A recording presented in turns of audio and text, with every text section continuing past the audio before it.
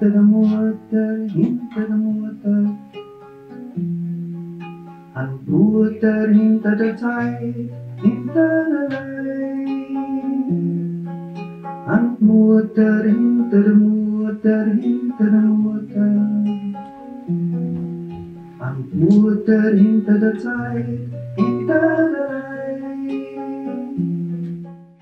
Schwer und leicht, so nennt sich der Titel einer Ausstellung bzw. Sonderveranstaltung hier in der Galerie Augenblick in Tannheim.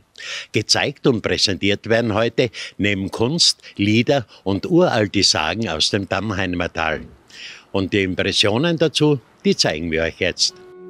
Mutter hinter der Mutter, hinter der Mutter. Sagen erzählen ist ein Teil von Mythologie. Und das Wort Mythologie, das setzt sich zusammen aus Mythos und Logos. Logos ist der Geist, das kennen wir auch von, von Logik.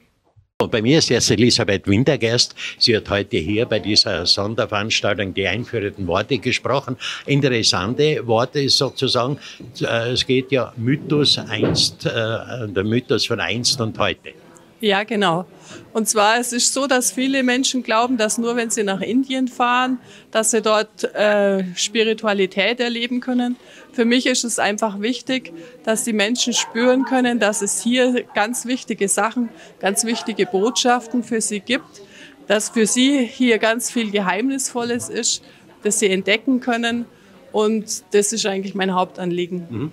Also der Schwerpunktthema war ja praktisch äh, zum, Urspring, zum ursprünglichen Gefühl zurückzufinden. Richtig, genau.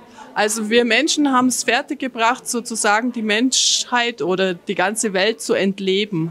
Also da ist ein Baum bloß noch der Brennwert und da ist ein Fluss nur noch die Fließgeschwindigkeit und wie viel Strom man damit erzeugen kann. Aber es hat nichts Lebendes, nichts Wesentliches mehr.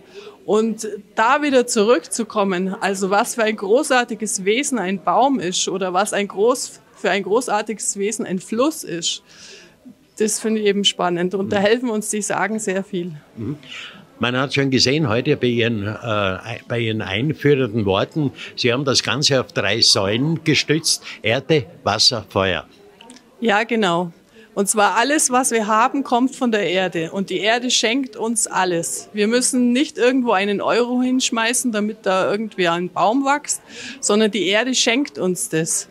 Und dieses Gefühl, äh, dass wir eigentlich beschenkt sind, dieses Gefühl, dass wir klares Wasser haben, dieses Gefühl, dass wir Feuer haben ähm, und was da für was da mit uns selber dann eben passiert, ähm, das finde ich großartig.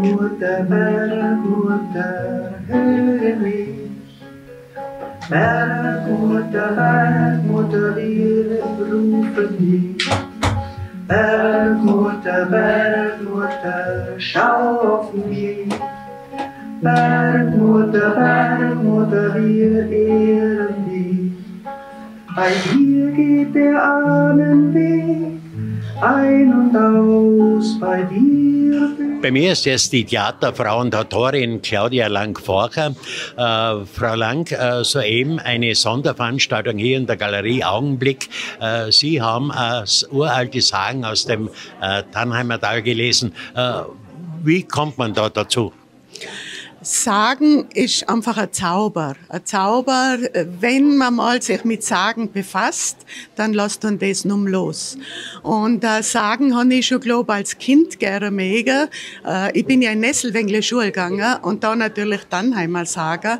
Und irgendwann ist dann die Idee bei uns entstanden, mit uns drei Frauen, eben mit Musik und mit, mit der äh, Elisabeth, die dann das Sagenbuch geschrieben hat.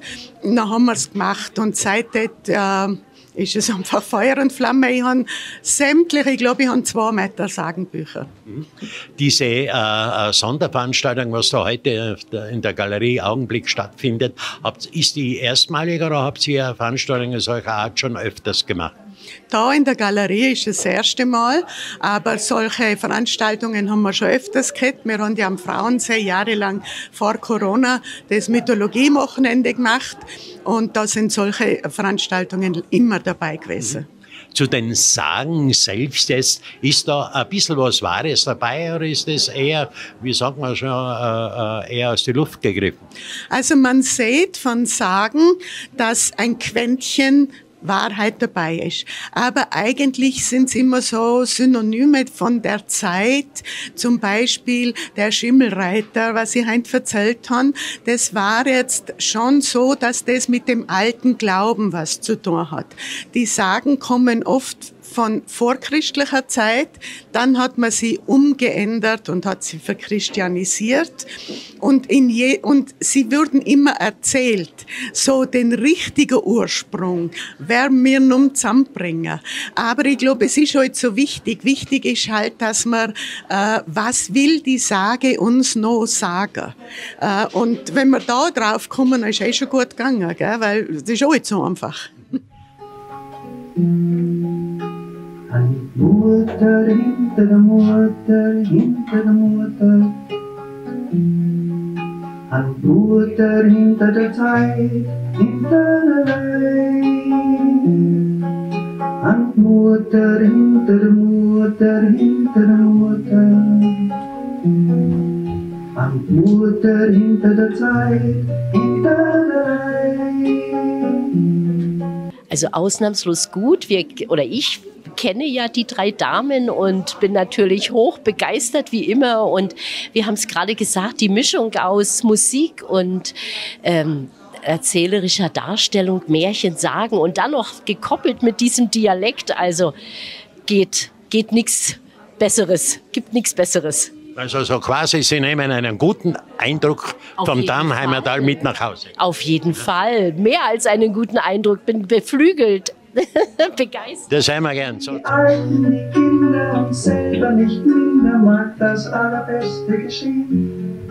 Für die Feuer der Mitte ich mit großer Kraft bitte, wo die Frauenkreise drum stehen. Ja, also sie hat es ja schon gesagt. Also diese Sagen wurden so wunderbar vorgetragen. Also fand ich so schön.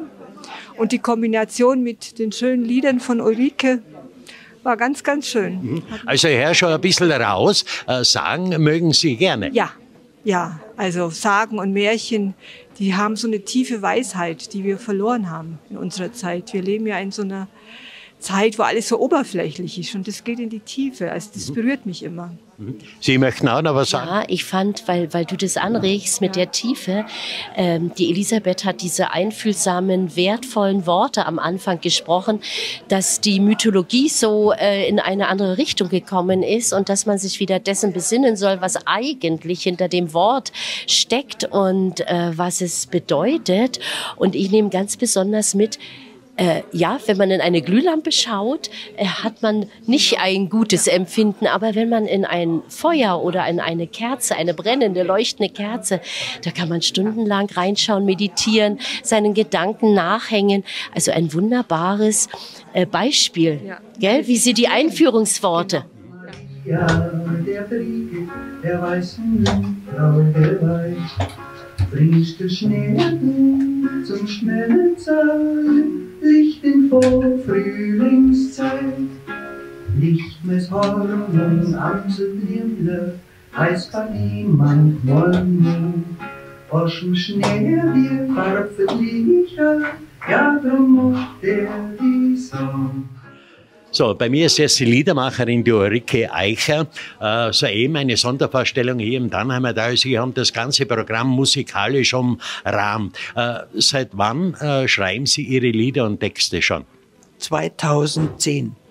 Wie ist denn eigentlich die Idee dazu entstanden? Wie ist man da gekommen, dass man sagt, okay, ich fange jetzt an, Lieder zu schreiben?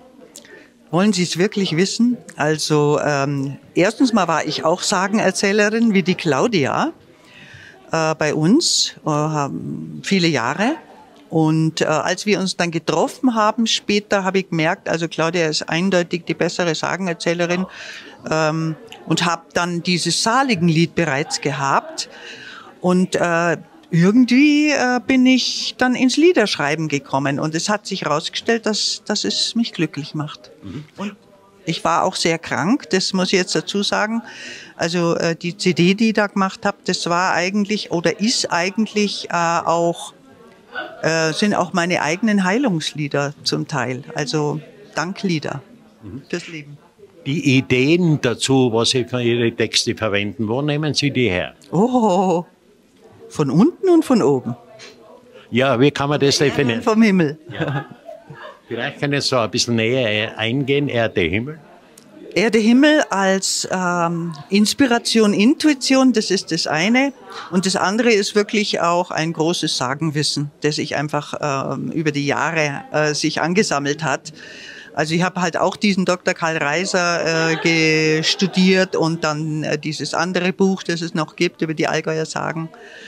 Wobei bei dem Dr. Reiser auch eben die Tiroler und Lechtaler Sagen mit drin sind. Ähm, es ist so, dass einfach diese Welt ähm, für mich eine sehr lebendige Welt ist. Und ich habe dann die Claudia und die Lisa getroffen und wir haben sehr gut zusammengepasst auf der Ebene und haben dann auch ein Mythologiewochenende äh, gemacht, jedes Jahr am Frauensee, äh, zu bestimmten Themen, wie zum Beispiel Bergmutter, wie das eine Lied hieß. Ähm, und noch vieles andere. Und äh, das war aber einfach auch eine Motivation, zu diesen Themen äh, Lieder zu schreiben. Mhm. Vielleicht noch äh, zusammenfassend und abschließend, äh, was möchten Sie konkret mit Ihren Liedern, mit Ihren Texten zum Ausdruck bringen? Ich möchte Menschen berühren und ähm, Herzen öffnen und äh, das Gefühl und das Gespür für das Unsichtbare ähm, öffnen.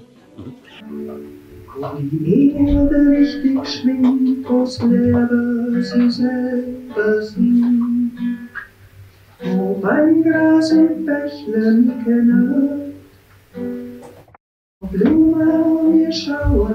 Sie sind bei dieser, äh, wie schon gesagt, Sonderveranstaltung hier dabei gewesen. Was ist Ihr Eindruck? Was nehmen Sie mit nach Hause?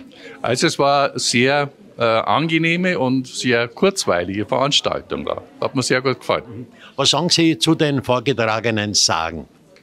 Ja, also ich finde Sagen immer sehr interessant. Also Sagen mehr eben als. Also das heißt, Sie sind äh, ein kleiner, äh, sagen wir mal, Liebhaber für Sagen. Sagen wir, Liebhaber für gute Geschichten. Allgemein. Und zu den Liedern, was hier vorgetragen worden? Waren sehr schön. Hat mir sehr gut gefallen da, ja.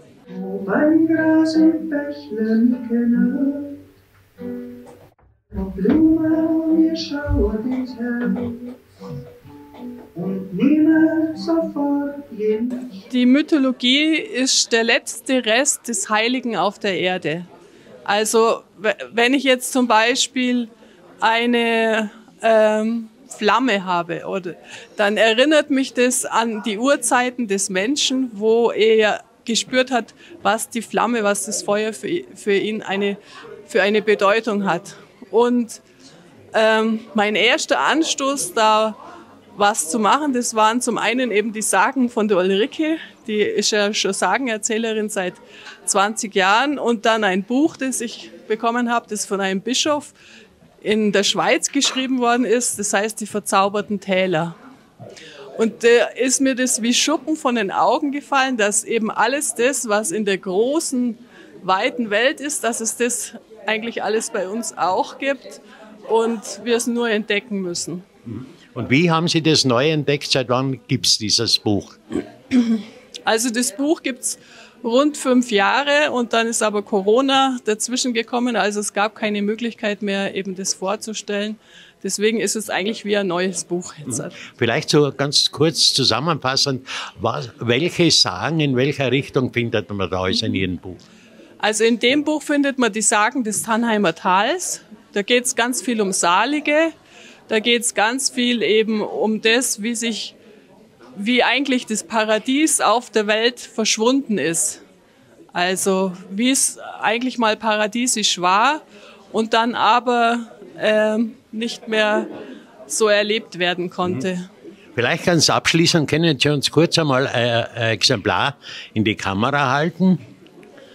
So, äh, zu diesem Sagenbuch wunderschön, wenn man so sieht.